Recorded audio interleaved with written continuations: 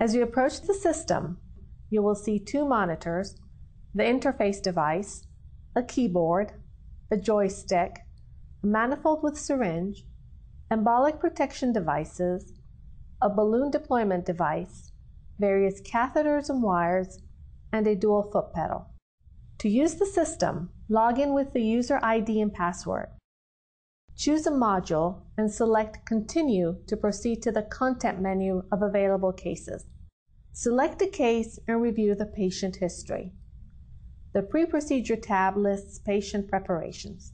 Select Continue and wait a few moments for the case to load.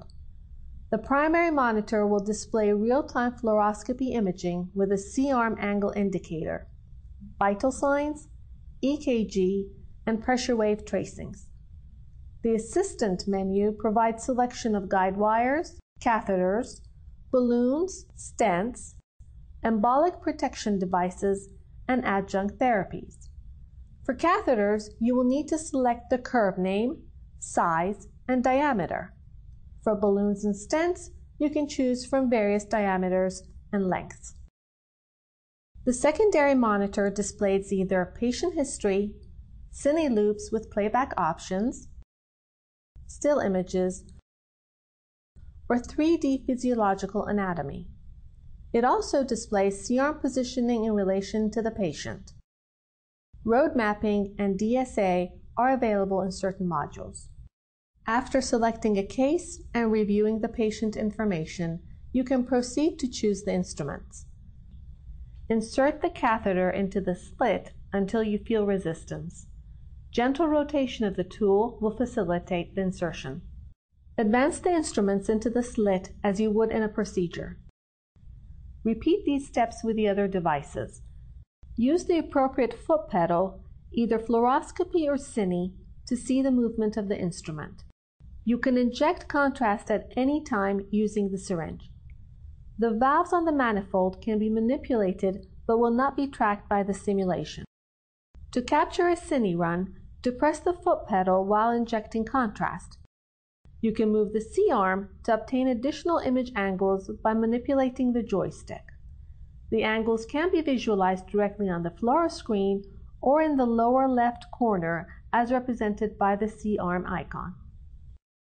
Once the diagnostic portion of the procedure has been completed, withdraw the instruments.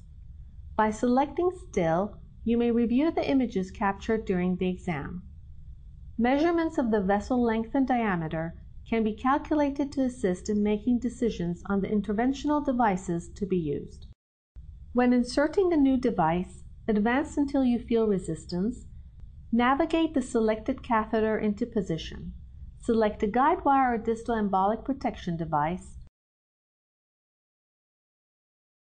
then navigate through the anatomy. Contrast can be injected to verify guide wire position and placement. The wire can be rotated using a torque device to steer the wire.